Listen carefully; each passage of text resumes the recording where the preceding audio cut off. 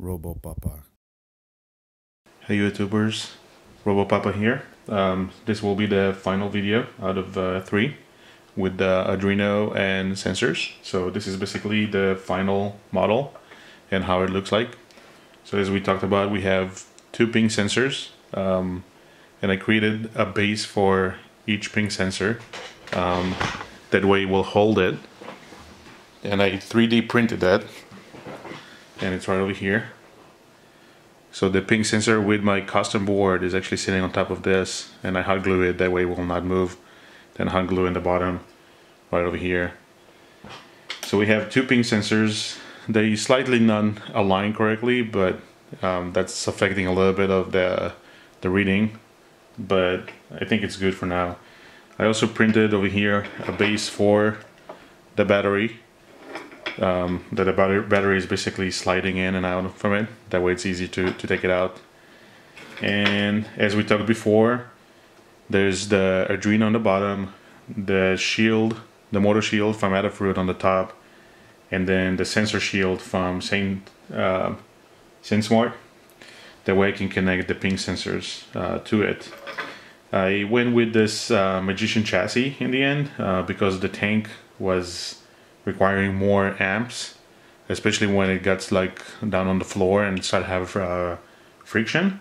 So I just went with this um, model in the end. Um, I'll have a demo on the how it's running and avoiding some obstacles. And we can look at the code right now. That way it will make sense uh, what I did. So let's move to the computer. All right, so let's look at the code that just I wanted to show you before uh, we look at the code. Here are the previous two videos that you can look at um, where I'm showing how to use the ping sensor and then how to give like a small demo under a controlled test environment. And as always, please don't forget to uh, subscribe. Um, that's uh, very helpful for, for me. And uh, please leave your comments also in the below. That way I will know what, what you guys thinking. And if you have any questions, uh, also ask and I'll be able to answer you. So let's move to the code. Um, as with the previous videos, I'm not going to go over everything that I'm including over here. And I'll try to touch just the main um, things that are important. So the first thing is this uh, structure, uh, which actually will hold uh, the, the speed, the direction, and the delay. Um, of how long do we want to delay between each uh, interval. Um, I covered the, the ping, which that's something that I created, and I covered it, I believe, in video number two, um, as well as all the Adafruit. Um, we have two motors, uh, the left and the right, and we have the left and the right pings. And one thing to notice that the ping left, where really will control the um, speed and direction of the right motor, while the ping right will control the speed and direction of the left motor as well as the delay.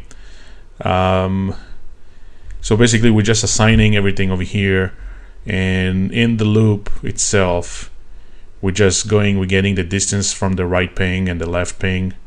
Um, and then we calling this two this function for both the left motor and the right motor to get the speed and direction and how long we want to delay.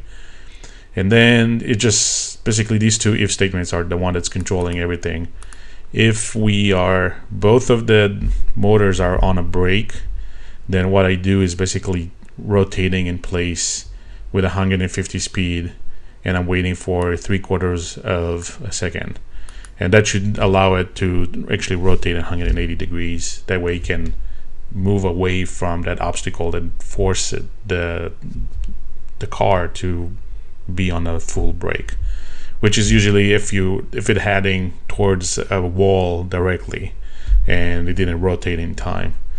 Otherwise it will take the motor right speed um, and the direction and the motor right speed with the speed itself. And once again the motor right speed is the one that's controlling the the, the motor itself um, as you can see over here, the distance left is going to the motor right speed and distance right eventually we'll get the motor left speed. So after these two lines of code, then we're assigning the to the right motors already. And then the delay itself is really just the maximum between those two delays that got back from each call over here. So the main function basically is this get motor speed, which returning us that structure. Um, and all it does, it's really looking at the distance and trying to map accordingly to a certain distance or to a certain sorry a, a, certain speed of the motor. So for example, if the distance of that ping is greater or equal to 21, um, and I should say it's inches, um, and you can set it up um, right over here with that true. It tells that it's one wanted to be in inches.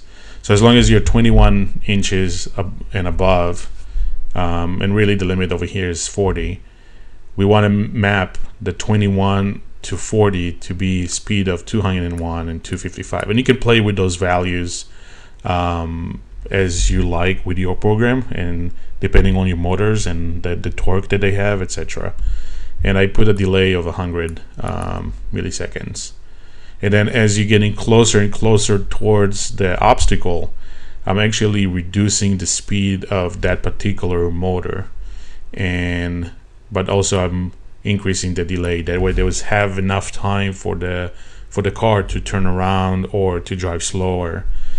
And then again until getting to a full brake, uh, which once again this if both of the vehicles or both of the motors are on a full brake, you will actually try to rotate in space in place. So the idea of the brake itself is really if one motor is on a break and the other motor is still running, really the vehicle will start turning um, towards the direction of the motor that it's broke uh, on a full stop. And then if the distance is really close to the obstacle, we basically start driving backwards. And if it's really, really close, like about to collide, it's going on uh, almost a full speed. So that's basically it. That's uh, how I wrote that code. And obviously, it, I'm sure you guys can uh, figure out a better way or a different way, which I would love to hear and see your um, your code in the comments. Um, so please leave comments below um, with your your code or questions or even improvements over here. And if you have any questions, uh, let me know. Uh, I'll try to answer to my best knowledge. And don't forget to like and subscribe because it's really uh, very helpful for me. Um, thank you guys.